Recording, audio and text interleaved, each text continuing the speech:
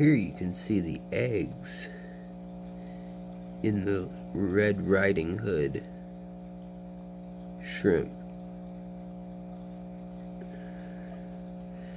Neocaridina zingagensis. Uh, it's a form of a Rili or Rili morph. Here's the male with uh, food in his belly. That's what that black line is. You can see them sifting through the sand and the little bits of algae.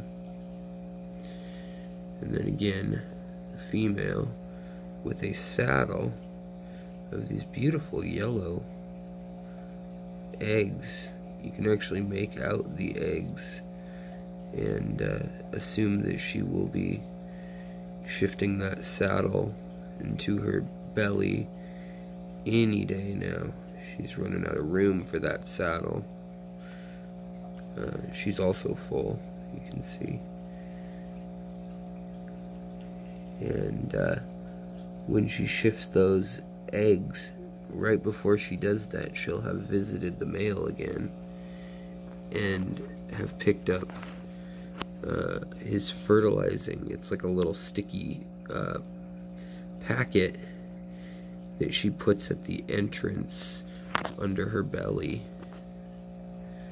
uh, right around the intersection of the red, clear, and yellow there. And each of the eggs that passes through it will then be enveloped in a sticky uh, molt, which is sperm. And each of those eggs will then be fertilized. And she'll then carry them under her belly with an enzyme and protein adhesive that helps hold them in place, but she has extra armor on her side, and that curled tail helps one to let her swim away very quickly, but two to kind of hold in extra eggs if need be. Um, we can see there's more females over here and they are in with the Badis. She's got a saddle as well, but it is less developed. But nevertheless, on this strain, it's really cool. You can actually make out the uh, individual eggs, and they're bright yellow. So that's that's really fun. I really like that about this strain I got at Aquatic Arts. You can get them too, as well, uh, at Aquatic Arts, linked in the description below, and the Scarlet Badis that are in here with them that I breed with together. And uh, it's just a great little five gallon nano tank feature, but you can put them in as big of a tank as you'd like.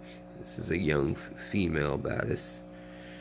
And uh, yeah, they're just a lot of fun. Uh, I highly recommend these shrimp. They're very hardy because they're a Neocaridina. And they're from the cherry line, which makes them even more hardy than some of the, the green jades and things like that have gotten a little less than hardy. Uh, but these ones will withstand a wide degree of water parameters.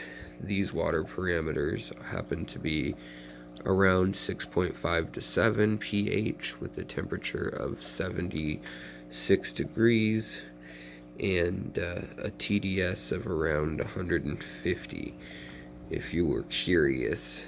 And quite a bit of light and a planted tank places for them to eat algae. And then I also feed them uh, shrimp veggie pellets as well as a uh, omnivore slash uh, detrivore, detritus eating, that's what that means, uh, combo that has uh, some ground fish meal and other eggs and um, like brine shrimp and things like that in it all ground up into a little shrimp pellet.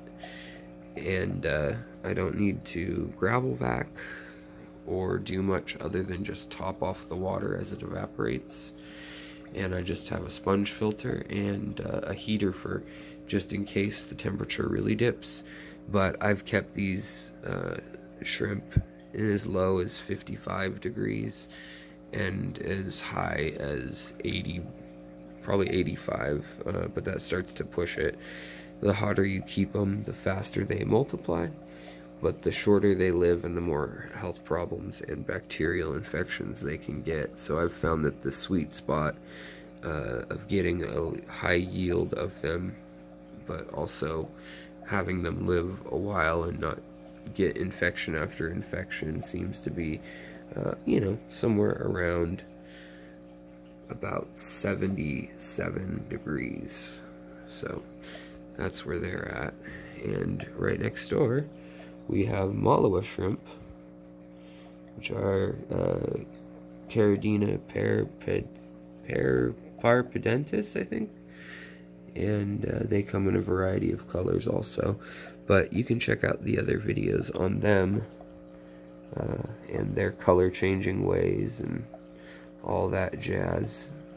So thanks for watching. Please like, subscribe, and uh, if you uh, really want to know what happens and see these colonies grow and check out my uh, my blue shrimp colony down here uh, as well as my other fish hatchery.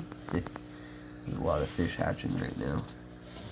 We've got some pregnant blue dreams in here as well. There's a nice pregnant female. Uh, then stay tuned. Alright guys. Take care of your fish, take care of your plants, and of the people that you care about. And if you do that, uh, make sure that you're taking care of yourself, uh, or you can't do the rest of that. And if we all do that, I think this world will be twice as good uh, and twice as pleasant to live in if just half of us do that. And good night from the shrimp village. This tank has around 400 shrimp in a 20 gallon. So you keep it planted right, you keep them fed right, and uh, it's it's pretty incredible what you can keep in a tank. Watch this. There's just piles of these shrimp. Just piles. All different color. Malawa and, and uh,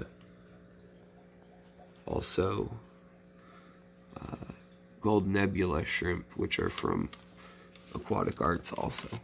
Alright. Good night, guys.